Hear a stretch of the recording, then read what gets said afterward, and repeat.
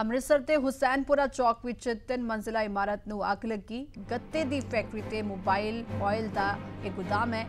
Fire brigade ਦੀਆਂ 6 ਗੱਡੀਆਂ ਅੱਗ ਤੇ ਕਾਬੂ ਪਾਉਣ ਵਿੱਚ ਜੁਟੀਆਂ ਹੋਈਆਂ ਨੇ। ਵੱਡੇ ਪੱਧਰ ਤੇ ਆਰਥਿਕ ਨੁਕਸਾਨ ਹੋਇਆ ਹੈ। ਇਹ ਤਸਵੀਰਾਂ ਦਰਸ਼ਕ ਦੇਖ ਸਕਦੇ ਨੇ ਕਿ ਗੱਤੇ ਦੀ ਫੈਕਟਰੀ ਤੇ ਮੋਬਾਈਲ ਆਇਲ ਦਾ ਇਹ ਗੋਦਾਮ ਹੈ, ਜਿੱਥੇ ਅੱਗ ਲੱਗੀ ਹੈ।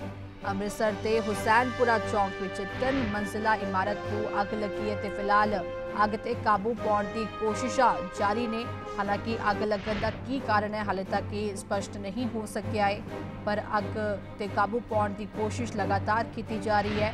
ਗੱਤੇ ਦੀ ਫੈਕਟਰੀ ਤੇ ਮੋਬਾਈਲ ਆਇਲ ਦਾ ਇੱਕ ਗੋਦਾਮ ਦੱਸਿਆ ਜਾ ਰਿਹਾ ਹੈ ਤੇ ਫਿਲਹਾਲ ਫਾਇਰ ਬ੍ਰਿਗੇਡ ਦੀਆਂ 6 ਗੱਡੀਆਂ ਅੱਗ ਤੇ ਕਾਬੂ ਪਾਉਣ ਵਿੱਚ ਜੁਟੀਆਂ ਹੋਈਆਂ ਨੇ। ਵੱਡੇ ਪੱਧਰ ਤੇ ਆਰਥਿਕ ਨੁਕਸਾਨ ਹੋਇਆ ਹੈ।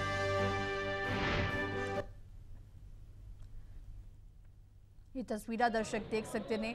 ਅੰਮ੍ਰਿਤਸਰ ਤੇ ਹੁਸੈਨਪੁਰਾ ਚੌਂਕ ਦੀਆਂ ਤਸਵੀਰਾਂ ਨੇ, ਜਿੱਥੇ ਤਿੰਨ ਮੰਜ਼ਿਲਾ ਇਮਾਰਤ ਨੂੰ ਅੱਗ ਲੱਗੀ ਹੈ। ਹਾਲਾਂਕਿ ਅੱਗ ਲੱਗਣ ਦੇ ਕਾਰਨ ਦਾ ਹਾਲੇ ਤੱਕ ਖੁਲਾਸਾ ਨਹੀਂ ਹੋ ਸਕਿਆ ਹੈ, ਪਰ ਜੋ ਜਾਣਕਾਰੀ ਹਾਸਲ ਹੋਈ ਹੈ ਕਿ ਗੱਤੇ ਦੀ ਫੈਕਟਰੀ ਤੇ ਮੋਬਾਈਲ ਆਇਲ ਦਾ ਗੋਦਾਮ ਦੱਸਿਆ ਜਾ ਰਿਹਾ ਹੈ, ਤੇ ਫਿਲਹਾਲ ਫਾਇਰ ਬ੍ਰਿਗੇਡ ਦੀਆਂ 6 ਗੱਡੀਆਂ ਅੱਗ ਤੇ ਕਾਬੂ ਪਾਉਣ ਵਿੱਚ ਜੁਟੀਆਂ ਹੋਈਆਂ ਨੇ।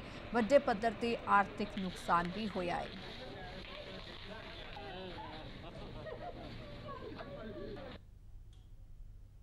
ਇਹ ਗੱਤਿਆਂ ਦੀ ਫੈਕਟਰੀ ਸੀ, ਉੱਪਰ ਕੈਮੀਕਲ ਵਗੈਰਾ ਵੀ ਪਿਆ ਸੀ ਕੋਈ। ਥੱਲੇ ਪੇਚਾਂ ਦੀਆਂ ਵੀ ਸਮਾਨ ਪਿਆ ਸੀ। ਮਤਲਬ ਗਲੀ ਤੰਗ ਕਰਕੇ ਰਸਤਾ ਕੋਈ ਨਹੀਂ, ਜਿਹਦੇ ਕਰਕੇ ਸਾਨੂੰ ਰੁਕਾਵਟ ਆਈ ਹੈ